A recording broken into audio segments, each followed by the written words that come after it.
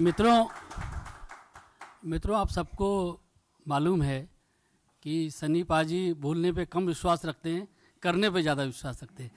लेकिन मेरा फिर भी आग्रह है कि सनी पाजी अपना ढाई किलो वाला भाषण अभी आप लोगों के सामने करें। हेलो जैसे ये बता चुके हैं और आप जानते हैं लेकिन जिस तरह से आप लोगों ने मुझे इंट्रोड्यूस किया है और जो जो आप कह रहे हैं, उसे मुझे, मुझमें एक एक हिम्मत दी है कि ज़रूर जिस तरह से मेरे पापा इस परिवार के साथ, अटल जी के साथ जुड़े थे, आज मैं यहाँ मोदी जी के साथ जुड़ने आया हूँ। उन्होंने देश के लिए बहुत कुछ किया है।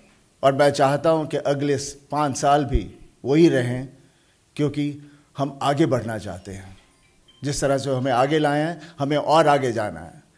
क्योंकि हमारी जो यूथ है, उन्हें मोदी जैसे लोगों की ज़रूरत है।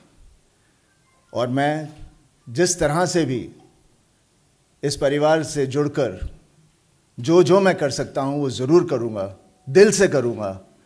बातें नहीं मैं बताऊँगा, ना मैं कुछ बोल सकता हूँ, लेकिन हर वक्त काम करके दिखाऊँगा।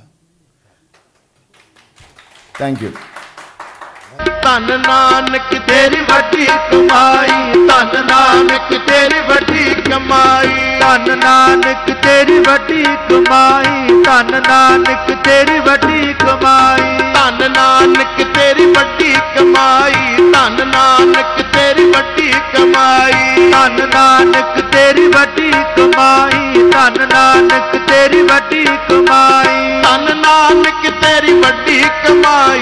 ਧਨ ਨਾਨਕ ਤੇਰੀ ਵੱਡੀ ਕਮਾਈ। ਧਨ ਨਾਨਕ ਤੇਰੀ ਵੱਡੀ ਕਮਾਈ। ਧਨ ਨਾਨਕ ਤੇਰੀ ਵੱਡੀ ਕਮਾਈ। ਧਨ ਨਾਨਕ ਤੇਰੀ ਵੱਡੀ ਕਮਾਈ।